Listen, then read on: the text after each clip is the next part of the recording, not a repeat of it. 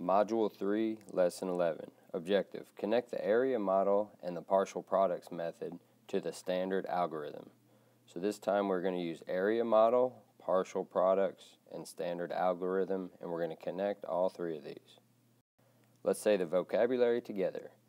Factor times factor equals product.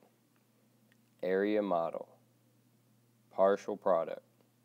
Standard algorithm. Place value. So these are the three that we're going to be working on today and we're going to be connecting and showing how all of these relate together. Let's start off by multiplying 234 times 8. So we know if we break this number up into expanded form we would have 200 plus 30 plus 4. And we're going to take all of these numbers and multiply them by 8. Remember, to find the area of a rectangle, you need to multiply length times width. So basically, you'll be taking 8 times 200, 8 times 30, and 8 times 4, and then adding all of those together. Let's start off with 200 times 8 will give me a product of 1600. 30 times 8 will give me a product of 240. And finally, 8 times 4 will give me a product of 32. Two different ways you can set this up. Number one, you could simply show your 8, parentheses, 200 plus 30 plus 4, and all this means is 8 times all of this together. Another way you could set it up is showing each one separately. 8 times 200 plus 8 times 30 plus 8 times 4. And then add all of these together. Let's go ahead and solve for each problem. 8 times 200 would give me a product of 1600. Next, we multiply 8 times 30, which would give me a product of 240. And then finally, we multiply 8 times 4, which would give me a product of 32. Now that I have all of my partial products, I need to add these together to get a final product of 1,872. Let's go ahead and solve this problem using partial products now. So we start in our ones place and we multiply 8 times 4, which will give me 32. Next we move to our tens place. 8 times 3 tens will give me a product of 24, but we're in our tens place, so that's 24 tens, which would be 240. And then finally, we move to our hundreds place, 8 times 2 hundreds. So 8 times 2 is 16, so we have 16 hundreds, which would be 1600, or 1,600. Add all of those together, and you get a final product of 1,872. Now let's solve 4 times 316 using our area model.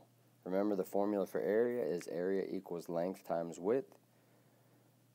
Let's start out with 316 on top and we're going to multiply 316 times 4. First we need to break this up into expanded form so that would be 300 plus 110 plus 6 ones and then we multiply each one of those by 4. Alright, start out in our hundreds. 4 times 3 hundreds equals 12 hundreds. Next we move to our tens. 4 times 110 equals 4 tens, or 40. And then finally, we multiply 4 times 6, which equals 24 ones. Now that we have all of our partial products, we need to go ahead and add those together. And we get a final sum of 1,264. Two different ways to view this are 4 parentheses, add all these together, multiply times 4. Another way to look at it would be to write each one out. 4 times 300 4 times 10, and then finally 4 times 6. 4 times 300 is 1200. 4 times 10 is 40, and 4 times 6 is 24.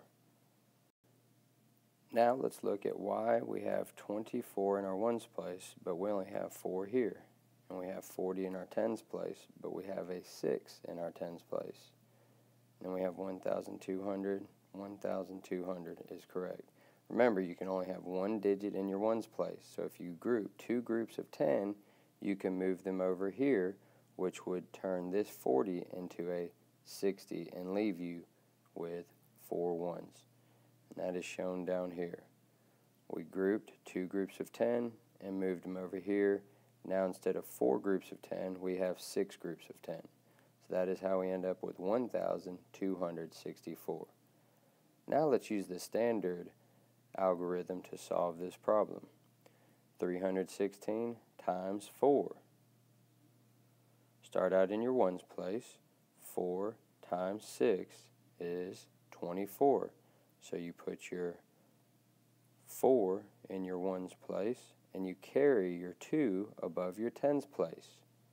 Now 4 times 110 would be 40 and then you have two more tens which would make that 60.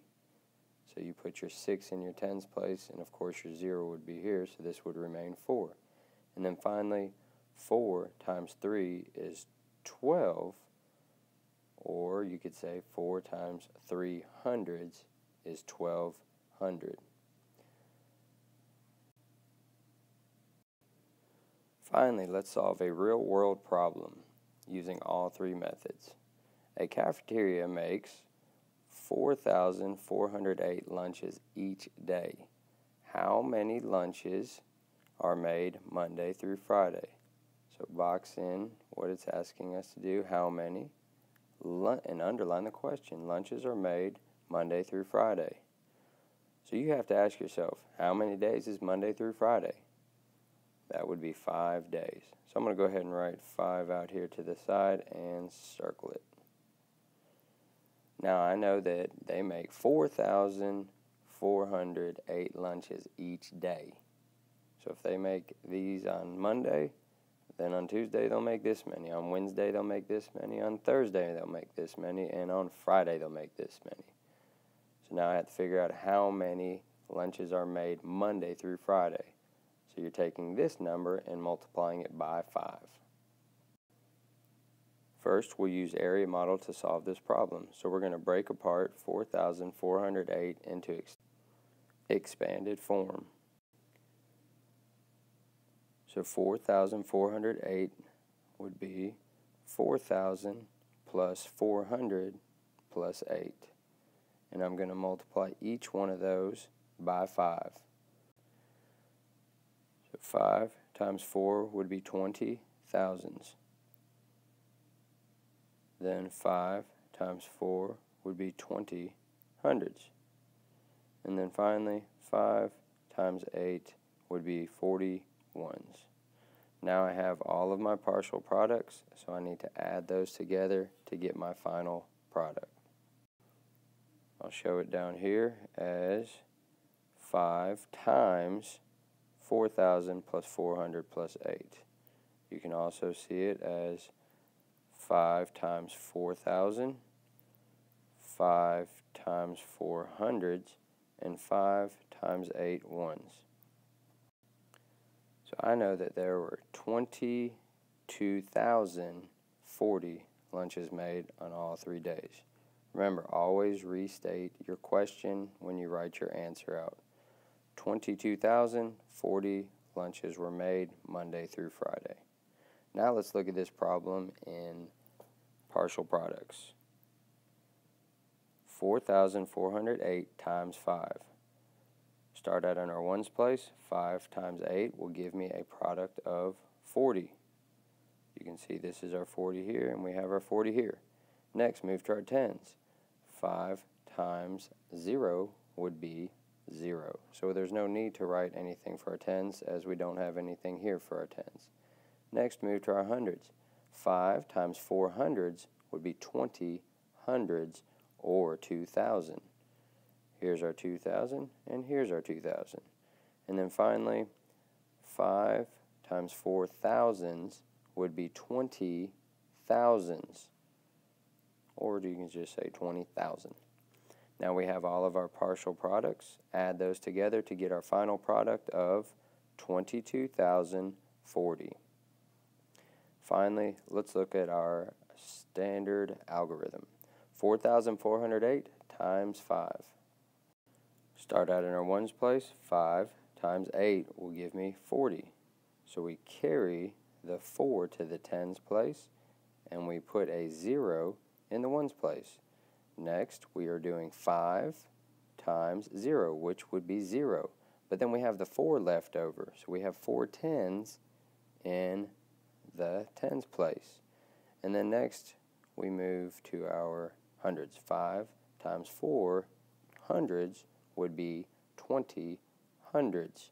Or you, you cannot put a 20 in one place, so you carry the 2 to the thousands place and put a 0 in the hundreds place. And then finally you multiply 5 times 4, which would be 20, and then add your 2, and you're left with 22.